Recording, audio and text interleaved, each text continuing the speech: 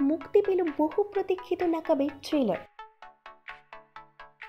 SPF প্রযোজিত এই ছবিতে টলিউডের দুই সুন্দরী, সায়ন্তিকা ব্যানার্জি ও নুসরতের সাথে স্ক্রিন শেয়ার করছেন টলিউডের নবাব শাকিব খান।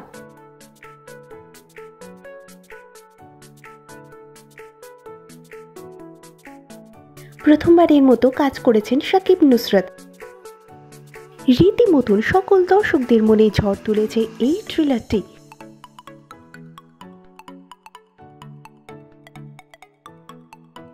এই ছবিতে শাকিবকে এই দ্বৈত চরিত্রে দেখা যাচ্ছে।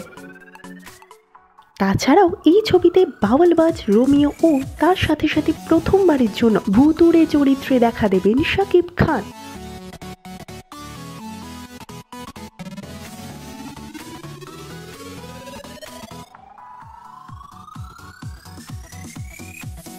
এর আগে তোর হাঁটা চলা গানটি নিয়ে দর্শকদের মন কেড়েছিলেন নুসরত শাকিব জুটি।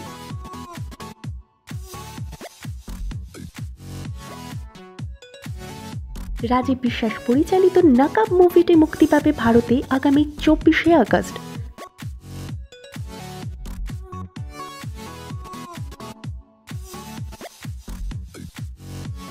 নাকাবের ট্রেলারটি কেমন লাগল আপনাদের? কমেন্ট করে জানিয়ে দিন আমাদের চ্যানেলে